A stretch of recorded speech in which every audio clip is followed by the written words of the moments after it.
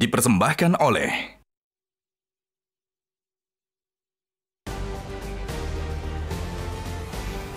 Pengurus Besar Nahdlatul Ulama atau PBNU menyatakan keinginannya untuk ikut berinvestasi di Ibu Kota Nusantara IKN. PBNU akan membangun sejumlah fasilitas pendidikan, kesehatan hingga keagamaan di IKN. Niat PBNU untuk berinvestasi di IKN disampaikan langsung jajaran pengurus PBNU saat bertemu dengan Presiden Joko Widodo di Istana Kepresidenan Jakarta.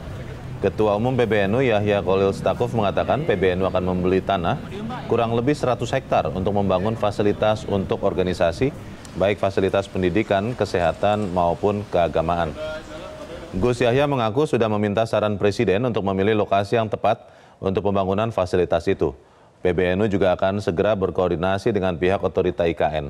Selain itu, PBNU juga mengkaji peluang untuk bisa berbisnis di IKN dengan modal 2 hingga 3 triliun rupiah.